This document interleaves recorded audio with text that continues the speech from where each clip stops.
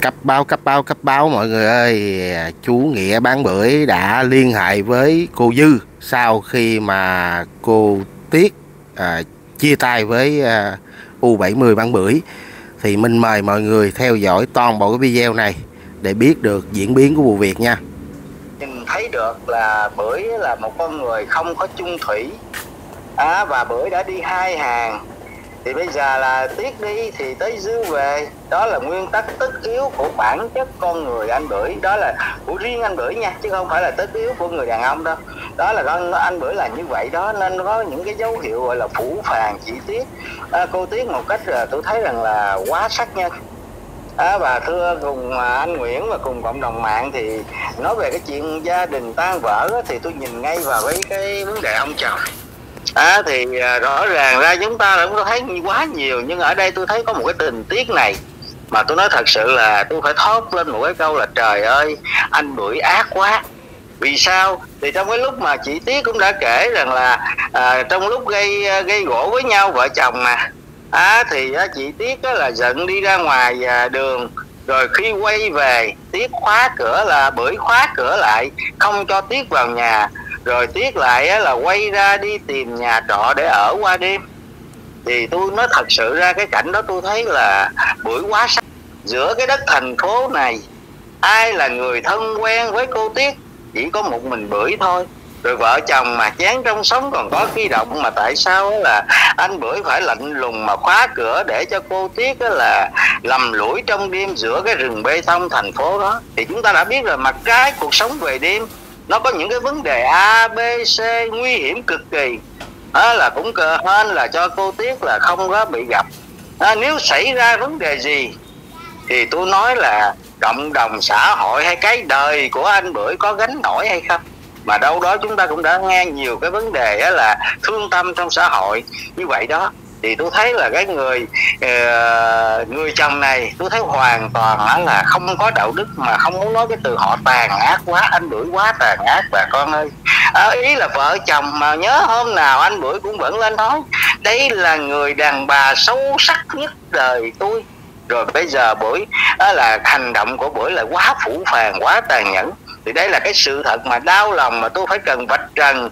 Và cũng đó đây là cũng là một cái vấn đề để xã hội và những người đàn ông chúng ta cũng nên rút kinh nghiệm. À, chén trong sống còn có khi động thì đối với vợ con đừng nên tàn nhẫn như vậy. Nếu bỏ con vợ của mình thân yếu tay mềm như vậy giữa cái, cái rừng bê tông không một người quen thì rõ ràng đây là vấn đề không thể tha thứ được cho anh bưởi. Tôi nói khẳng định trong lòng tôi ở cái góc độ đạo đức con người thì tôi không thể tha thứ cho anh bưởi. Còn vấn đề á, là chúng ta cũng đã thấy rồi. Lúc mà ở với là cô tiết năm ba ngày gì đó thì anh bưởi này cũng đâu có điện tạ từ với cô dương. À, và bây giờ mục đích của anh bưởi là gì? Chúng ta đã thấy là từ lâu rồi anh bưởi là tham tiền tham tiền mà ngày hôm nay thì cô tiết đã lên trên cộng đồng mạng kết luận ông chồng bưởi mình là người con người tham tiền rồi. À, thì bây giờ là tại sao mà tôi lại là lặp lại vấn đề đó? Thì chúng ta nhìn vào cái vấn đề tôi xin nhắc một chút xíu giữa là cái cái cái cái gia cái, cái vợ chồng mà lúc mà bưởi và cô cô ờ, cô vân á tại sao cô anh bưởi là không á là à, bỏ tiền ra thuê một cái phòng nhà trọ để gọi là cái đêm phòng qua chúc. Mà anh bữa phải muốn về nhà của cô vân.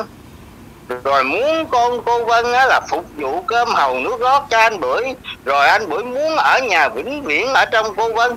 Mặc dù cô Vân đã nói là một tuần anh về với em là đôi ba ngày nhưng mà Bưởi không chịu.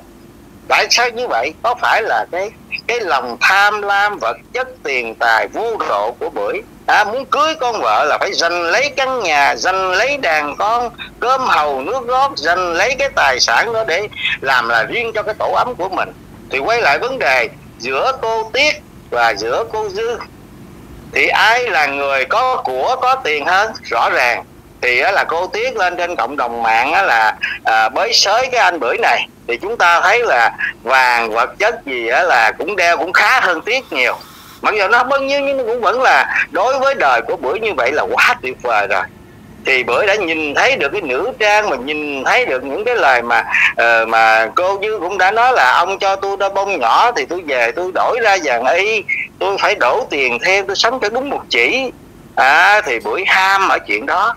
Thì tôi nghĩ là hồi đêm hồi hôm này bưởi là cũng phải là gì? Điện cho dư rồi người về tạ lỗi đêm dài người ơi thôi vẫn xin lỗi dư vẫn là nói xấu tiết thì bưởi đã từng nói xấu tiết trước mặt của dân rồi là lỗ mũi trâu rồi đó anh mặt bự đó.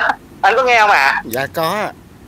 À, đó thì đó là những cái vấn đề. Thì bây giờ tôi nghĩ là đêm hôm này là buổi điện liền gấp thành ra trong cái tình tiết đêm hôm này cô tiết điện cho anh buổi hai lần để đối chất với là youtube. Thì là anh bưởi không bắt máy và youtube điện cũng như là không bắt máy luôn và anh bưởi là à, hồi chiều là giơ một cái tay dứt khoát lên rồi là anh bưởi lủi luôn. Thì tôi nghĩ là tâm sự với cô như á là là là là ờ, than khóc tạ lỗi gì đó. Thế là sáng ra cô dư lên cộng đồng mạng là muốn về với anh bưởi. Thì đó là cái vấn đề con đường mà con đường về đàn bà này thì là bưởi đã sắp xếp và đã ủ mưu lâu nhiều rồi anh ạ. Và đấy gần như là cái sở trường sở đoạn hay là cái đời sống của anh bưởi này đó là một sát thủ về đàn bà. Tại sao tôi nói như vậy thì bà con thấy đi ở trong cái vấn đề hồi trẻ thì á, là người phụ nữ á, là đã sanh con cho anh. Bưởi này hai đứa nói giỏi tông đường cho mình mà bởi là à, vì á, là cô Vân vì thương cô Vân thấy cô Vân có nhà cao cửa rộng đó à, sang giàu cái gì đó thì là đành phải là gì? Rủa xả vợ mình là qua đời mất đi. Đó bà con thấy cái hình ảnh người chồng như vậy người đàn ông như vậy có nên nó là lan tỏa trên cộng đồng hay không? Có nên lên án hay không? Rồi tiếp tới là những cái cô nói chung là tất cả những người phụ nữ mà bưởi đã qua tay bưởi đều ném cho họ là gì? Vì ham tiền. À, con đàn bà đó là gì? Lừa đảo tiền tôi rồi bây giờ khỏi nói tới nói cái gì đó. Đến khi người ta vạch trần ra à anh có à, có vợ lớn của anh vẫn còn sống. Thì đó bà con thấy không? Ảnh đó là văn ảnh nó văn tục rồi ảnh lại là uh, nguyền rủa người ta như vậy rồi đến cô vân cũng vậy.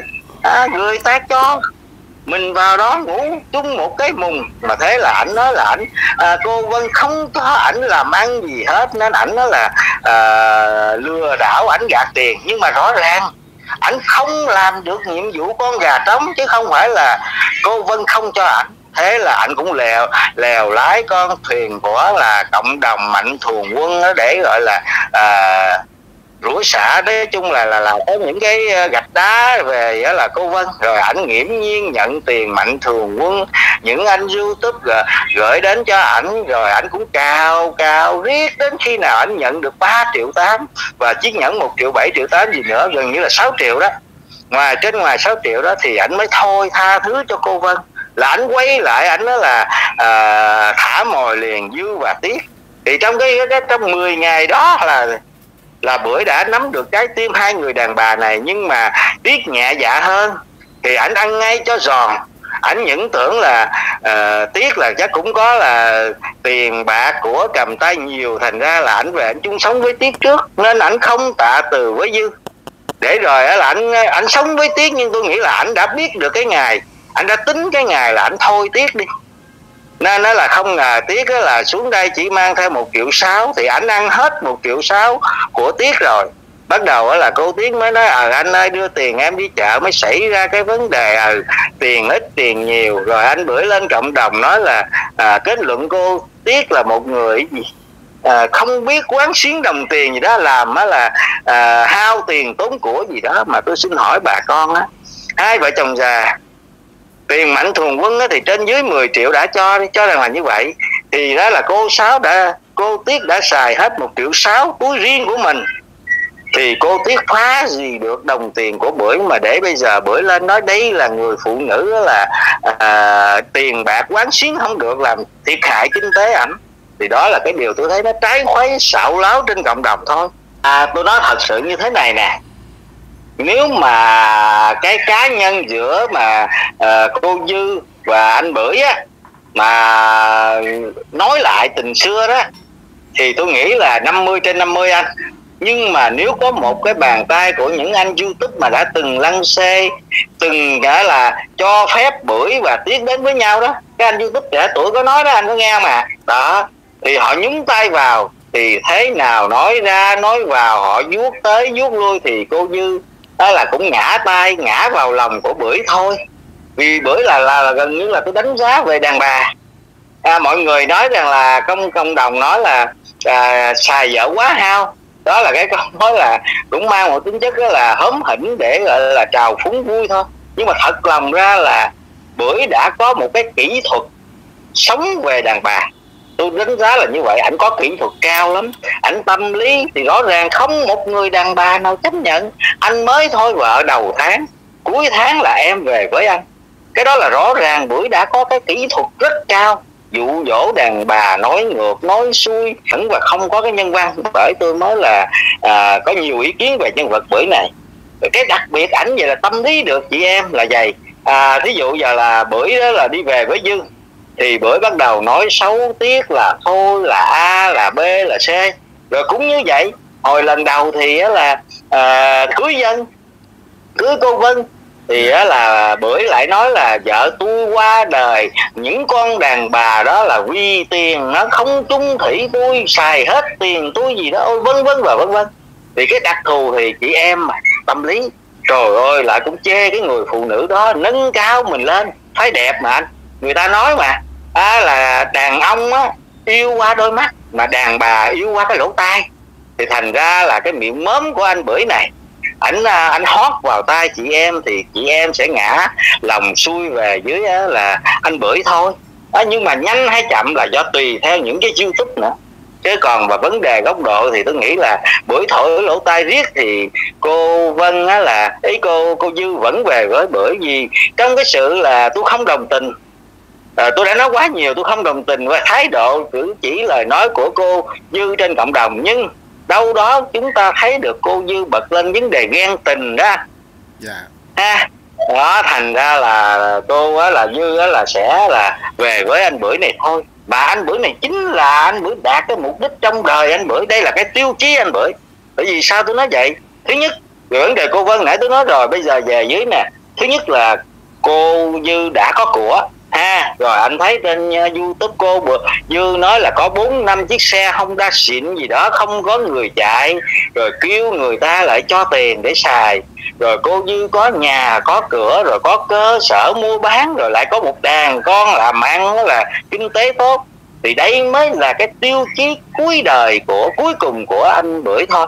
Thành ra bằng mọi vấn đề là anh bưởi sẽ là về với cô dư mà cũng không phải là cô dư đâu. Nếu bên lề đường này có một cái cô nàng nào đó có một cái u nào đó à, vào 70, 80, 90 gì đó mà ví dụ như là sự thật là à, có tài sản lớn có tài sản khủng bữa chỉ cần rước bữa về để nuôi á, là làm nhiệm vụ con gà trống thì bữa sẽ ngã ngang không? Chứ còn thật sự ra bữa không hề chung tình đâu tôi nói khẳng định bữa không hề chung tình, tôi khẳng định một trăm lẻ một phần trăm luôn. Tại vì sao tôi nói vậy? Một con người, trời ơi, người đàn bà giữa rừng bê tông bà con, không hề quen biết ai, thân quen. Chỉ có một mình mình, rồi họ về. Họ là xin vào nhà trong đêm tối, thì mình khóa cửa lại để họ lẳng lặng, lầm lũi đi trong đêm tối. Hình ảnh đó bà con nghĩ như thế nào về người đàn ông bưởi này? Không tình người. Thì bây giờ như vậy đối với phụ nữ là như vậy thì chúng ta nghĩ cô, anh bưởi này có tốt với người đàn bà nào không? Mà cái người mà sâu nặng nhất đối với ảnh, thứ nhất là mẹ ảnh, thì ảnh cũng không tôn trọng mấy. Khi ảnh được món hời thì ảnh cũng đem ra là ảnh quăng ra ngoài đường thôi. Rồi cái thứ hai nữa, người đó là phụ nữ mà sâu đậm với ảnh là người vợ lớn của ảnh. Đã có sanh cho ảnh hai đứa con, mà thế là người ta vẫn còn sống sờ sờ như vậy mà ảnh đem ảnh quyền rủa này kia kia nọ rồi ảnh ném luôn. Con vợ đó uy tiền của tôi gì đó. Vân vân và vân vân rồi lừa đảo phản bội tôi. Thì tôi hỏi trên cái xã hội này buổi hoang toàn về đàn bà là gần như là cái kiếp trước á. Là buổi này á là, là bị đàn bà chà đạp hay sao đó. Thành ra kiếp này lên thấy rõ ràng bưởi đối với phái nữ đối với những người phụ nữ đàn bà thì bưởi hoàn toàn ráo quảnh, không hề một cái chút do dự về tình người hay về đạo đức gì buổi hoàn toàn không có. Về riêng cái góc độ tôi nói như thế này, về trần, về thực tế, về thực dụng, đứng theo cái chủ nghĩa thực dụng, anh yêu em em yêu anh. Bước qua bất chấp thì rõ ràng cô tiếp là một cái người là thương bưởi thật. Đi hàng trăm cây số về đó để là trao thân gửi phận và nói chung ra là đem theo cái tài sản của mình, biết gia đình, biết cái nhà của bưởi là không có một cái gì đó là là cô này phải đem nào những cái vật chất đời thường xuống. À, gần như là dằn cọc ngược để để là dằn cọc cái hôn nhân này. Nhưng mà buổi bây giờ là phát hiện ra được là như có tiền nè Dư có bốn năm chiếc xe nè Dư có vàng nè Dư có cơ sở mua bán nè Rồi đàn con của Dư là làm ăn kinh tế cũng tốt nè Thì là rõ ràng Thảy lên bàn cân là à, cho những Thảy lên bàn cân của những kẻ tham tiền Thì rõ ràng buổi sẽ nghiêng về cô dư thôi tiếc là cái người chỉ qua đường nghĩ là uh, vui đùa trong đó là lúc mà chờ đợi hẹn hò với dư là bảy tám tháng đó anh năm sáu tháng gì đó yeah. Dạ. không thì rõ ràng đó, đây là tiếc là một cái nấc thang để buổi leo lên trên cộng đồng leo sâu leo sâu vào tâm hồn của dư thôi đó là cái sự thật phủ phàng mà à, tôi cũng phải là đắng lòng tôi nói thật sự với bà con thì mình cũng không có vui không vui vẻ gì cái cái cặp gia đình người ta tan nát. Nhưng mà đây là tôi đứng ở góc độ nhân văn và đạo đức và hình ảnh người chồng. Và là những tôi vạch mặt những kẻ xảo trá à, lừa đảo những chị em là những người ta chân yếu tay mềm non lòng trẻ dạ. Thì rõ ràng tôi phải ý kiến anh à cái cái vấn đề lúc trước á, thì nó thật sự ra là cái nhân vật này tôi cũng thưa cùng anh và cùng cộng đồng mạng á thì trong lòng tôi không tôn trọng và tôi cũng không theo dõi anh bưởi nữa. Nhưng mà đến lúc sau này mà à, nghe cô dư lên youtube khóc rồi ảnh là điện thoại ảnh nói là cô dư là dí cô dư quá. Áp bức cô dư quá thì cô dư mới nói rằng là anh đi à, à, đem ra ngoài công an đi đó anh. Dạ. À, thì từ đó đến sau tôi mới để ý về cái nhân vật bưởi này nữa. Chứ hồi đó tôi không tôn trọng bưởi tại vì à, nhân vật này đã ăn tiền mạnh thường quân 3 năm trời rồi rồi cái vả lại là cái lúc đầu mà để bưởi ngôi đầu lên trên cộng đồng á là bưởi lấy là cha con trọng súng tò te ra làm cái nền nền tảng cái đề tài để là anh bưởi này chê bai. Không? Để lấy lòng mạnh thường quân. Rồi sau đó tôi thấy hình ảnh anh này là tham tiền rồi. Đó thì đây rõ ràng thì chúng ta thấy đi. Nếu mình là một người chồng mặc dầu là cái à, cái động kết nối yêu thương đó nói gì thì nói nhưng bản thân làm trai à, làm đàn ông thì chúng ta cũng phải có ba đồng bạc để gọi là xây dựng gia đình. Còn đằng này anh không hề có lấy một đồng bạc gì trong cho cái cuộc hôn nhân đó. Là bàn cách là cô vân á là tới nhà, là đuổi là à, ảnh về. Bắt đầu ảnh la lên này kia kia nọ. Nhưng thật lòng ra, ảnh trong túi ảnh vẫn còn có ha, một triệu bạc để gọi là để ảnh là dở trong yên xe. Ảnh ảnh dành ảnh thủ. Thì tôi hỏi hình ảnh người chồng trong đêm hôn nhân đã đòi một hai nằng ngặt về nhà của vợ ở tại sao mình không sức ra vài trăm ngàn? Trong khi đó mình có một triệu. Ờ, để có gọi là một đêm kỷ niệm á, là cho nó trọn vẹn. Anh không hề anh đâu hề biết vấn đề là hôn nhân là hạnh phúc đó qua cái hình ảnh đó. Sau này anh mới kể lại đó. Thì đó là cái vấn đề mà tôi thấy là uh, hết sức là trái khuấy. Nhưng mà lúc đó ảnh sao ảnh tô thắm cho cho cho ảnh rồi ảnh dựa vào hình ảnh người già là ảnh anh không làm ăn gì được rồi cô như bây giờ lấy tiền á là xính lễ à, lấy à, à, tiền xính lễ đó à, lấy vàng xính lễ đó á, là bỏ ảnh đi tạo cho hình ảnh là cô vân là người đàn bà phụ bạc lừa đảo. Nhưng thật lòng ra đó là tôi cũng nói rất rất nhiều lần người ta cho ảnh vào mùng ảnh ngủ. Ảnh còn nói mà á là gì à, ảnh làm ăn không được rồi á là có một chị nọ nói là ô cái loại ờ, người vợ nói ảnh làm sao lẹ quá ra lẹ quá. Đó là thứ nhất. Cái thứ hai người phụ nữ nọ nói là à, loại đàn ông đó cho leo lên mình chỉ để bẩn người. Đó rồi bây giờ anh mới nói lực lưng ra anh vô anh không làm ăn gì được thì anh ôm cái gói anh ngủ. Thì cái chi tiết đó tôi nói cũng quá nhiều rồi. Thì cũng mong anh và cùng cộng đồng bạn chúng ta nhiều cái suy gẫm. Và mời anh có ý kiến à dạ thì à, con cũng cảm ơn cái à, góp ý của à, chú rất là nhiều thì à, chú có dạ. gửi cái lời à, à, gì đến cộng đồng mạng khi mà theo dõi những cái chương trình mà à, kết nối yêu thương tìm một nửa mảnh ghép á, của các cái cụ à, lớn tuổi á thì à, chú à, con dạ. mời chú có một cái à, à, lời khuyên à, để à, kết thúc cái video này dạ. Thì uh, trước tiên tôi cũng hết sức là cảm ơn anh được uh, cho phép tôi lên uh, kênh của anh để trà bày tỏ cái uh, tâm sự của tôi với cộng đồng. Và cảm ơn cộng đồng cũng chịu lắng nghe ý kiến của tôi. Thì cái chuyện đầu tiên tôi thấy cái vấn đề á là mảnh ghép cuối đời yêu thương gì đấy nè là nó là một sân chơi đẹp của cái giới cái gọi là của một cái tầng lớp yêu thương với nhau thật thật chứ không thể là uh, youtube mà vì like vì view rồi ca vang hô vang lên nào là đại gia này đại gia kia. Rồi để là trở thành một cái cảnh xảo trá lừa nhau. Rồi bây giờ đưa ra một cái nhân văn như thế nào? Những u 70 có những thái độ là những cánh tay của quỷ rồi những cái bàn tay sờ mông của người khác phái này kia kia nọ. Thì tôi thấy hết sức là trái khuấy.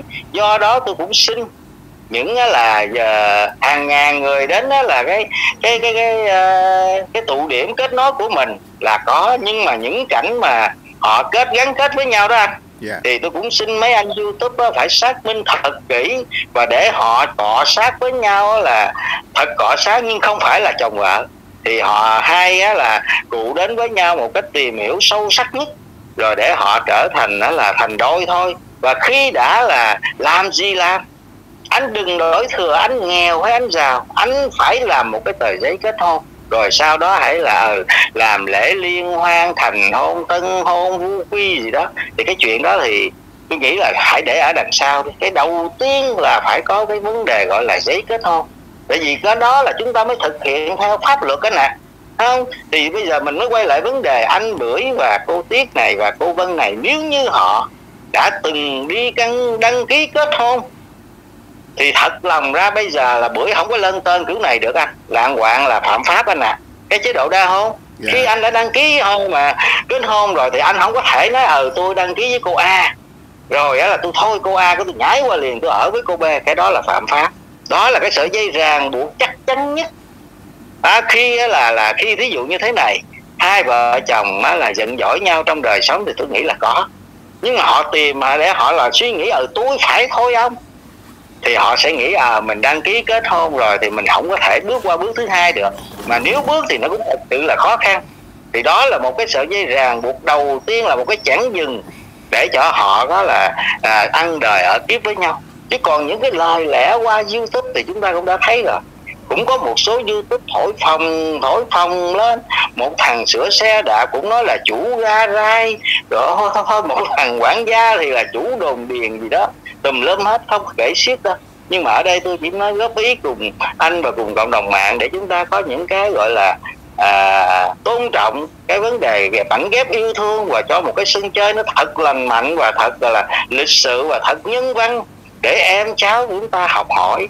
Dẫu là không có lễ cưới không có luật lễ nghinh hôn nhưng chúng ta phải trọn vẹn về luật pháp và về cái tình người và hình ảnh người chồng phải thật thật với nhau. Chứ không thể là đại gia đến giờ lớn vương ra à, cái cuộc sống nó nhảy vào đó cưới con vợ ngày mai không có đồng bạc để mua gạo ăn. Thì cái điều đó tôi nói là một cái sự xảo trá đáng lên án đáng nguyền rủa à và tôi cũng có cái vài lời góp ý cùng anh và cùng cộng đồng mạng để chúng ta có nhiều cái suy gẫm à và chúng ta phải vạch trần những cái loại đàn ông bám mấy đàn bà mà mòm thì lên trên cộng đồng mạng là ca vang là tốt là đẹp. Mà đã là như vậy thì cũng dừng lại ở đó thì cho rằng cũng không nguyền rủa mấy còn đằng này đem là những người đàn bà mình đã qua tay rồi là nói xấu này nói xấu kia làm một cái nền tảng để là tiếp tục cua một con vợ mới thì điều đó quả không còn hề là đạo đức và nhân văn à và tôi cũng xin hết và xin chào ạ à. dạ con cảm ơn rất là cảm ơn uh, chia sẻ của chú ạ à. xin chào và hẹn gặp lại chú dạ. nha